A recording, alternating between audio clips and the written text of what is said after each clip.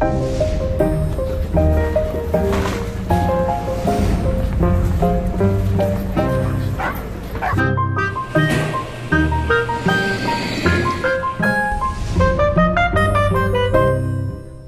Здравствуйте, это программа «Волжская коммуналка». Я Антон Анисимов. Вот сколько раз нам предсказывали скорый конец света и разного рода армагеддоны, но всех их мы благополучно пережили. Хотя, возможно, скоро апокалипсис грядет в одном из самарских домов, и начнется он атакой ледников. Впрочем, даже их бояться стоит меньше, чем равнодушных коммунальщиков.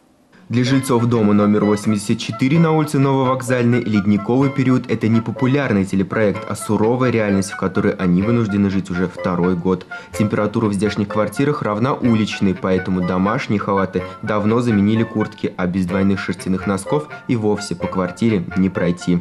В квартиру вхожу, такое ощущение, якобы, ну, не, не могу снимать куртку уже. Получается, что так хочется в ней остаться и дальнейшее время проводить в этой куртке, потому что ну, температура, которая на улице, можно сказать, сопоставима с нашей.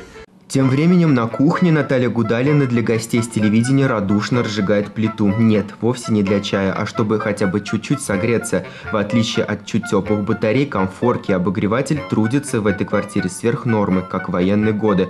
Пока же греется тело, душа леденеет от суммы в коммунальных квитанциях.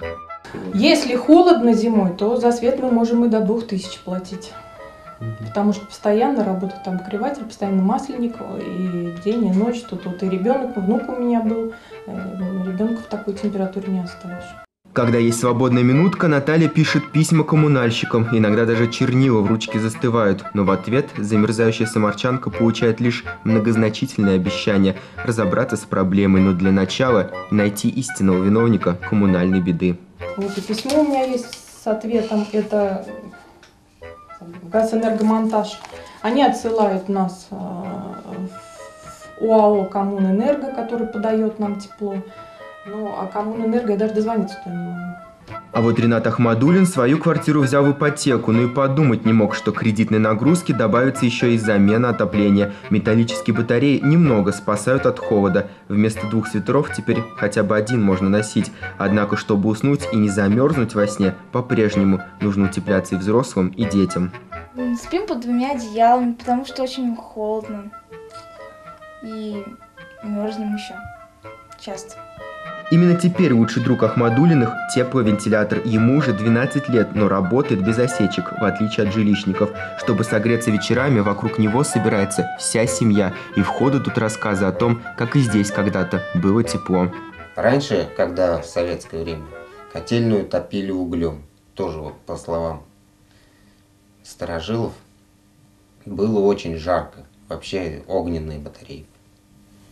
Ну, те времена сейчас прошли, стали экономить.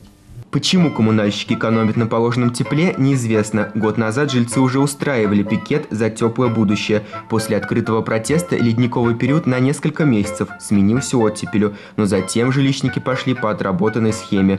Если и этой зимой ситуация не изменится, жители вновь готовы выйти на баррикады.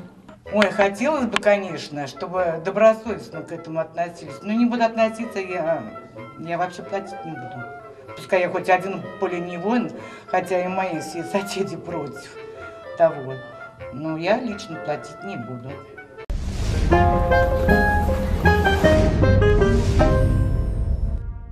Писем в почтовых ящиках дома номер 11 по улице братьев Коростелевых нет. Вот уже полгода. Даже рекламный спам сюда не долетает. С недавних пор этот дом просто изолирован от остальной Самары. Он и еще два таких же дома по одному адресу. Потому что небольшой проезд, соединяющий сразу три дома с большой землей, в один прекрасный день перекрыли металлическим забором без права прохода.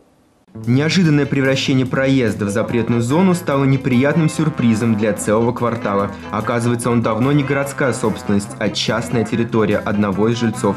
Как так вышло и откуда такие права, никто не знает. Я была в отпуске, пришла с подружкой, э, хотела войти в дом и не смогла, потому что э, был перекрыт металлическим забором мой проход, единственный к моему дому и жилью. Тем временем предприимчивые собственники не только перегородили забор, но и угрожают всем в округе расправой в случае нарушения суверенитета. На меня напали, на того соседа, уже у нас трое потерпевших. Одному они, значит, залили глаза этим газом баллончиком, а второму вот голову пробили. Ну и мне вот глаз немножечко повредили. Найти управу пытались через суд железнодорожного района. Дело выиграли, но проезд все так же неприступен. Волжской коммуналке достучаться до истины также не удалось. За стальной дверью хоть и кипела жизнь, но явно не для массового зрителя. Сейчас жильцы ждут решения следующей инстанции, уже областного суда. А пока карабкаются по самодельным лесенкам в обход соседними дворами. В сарае дощечки нашла, сколотила лестницу, три ступеньки, четвертый потом зять, по-моему, сделал, потому что очень высоко было. Сами виновники оградились от чужих бед не только высоким забором, но и кипой документов, сомнительного, кстати говоря, происхождения. По одним они властители проезда, по другим еще и владельцы квартиры в трехэтажном доме по соседству, приватизированной еще в 50-х годах. что она в 55 году купила 12 метров себе комнатку и 160 метров купила частной земли. В 55 году, насколько нас учили по истории, такого не было. И там есть опровержение нотариусов и все. Ну, я не знаю, почему суды это внимание не принимают. Последней каплей в чаше терпения местных жителей стала недавняя экспертиза по заказу проезда владетелей. По ее итогам выходит, что проблемной дороги вовсе и не было никогда, и на самом деле она часть внутреннего двора. А настоящий проезд якобы выходит во двор дома номер 23 по улице Арцебушевской с воротами и калиткой, которую вероломные соседи на зло заколотили. Вы знаете, до чего дошло вранье? Э, Что вот эти щиты – это наши полы с э, квартиры. Мы делали ремонт в квартире. И чтобы вот пригородить вот этот забор падающий, мы прислонили свои полы сюда. А экспертиза взяла это за ворота. Ну какие это же ворота? Тут вообще не похоже, что это ворота даже. Это рейдерский захват. Причем она засудимая уже по мошенничеству. Не могу в 55 году кто-то продать и купить этот кусок земли. Также я могу купить Московское шоссе 2 метра. И перегородить его и сделай дорогу, где хочу.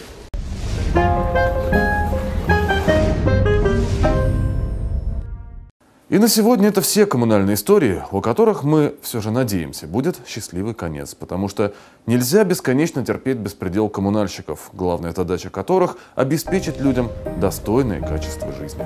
Держитесь, люди.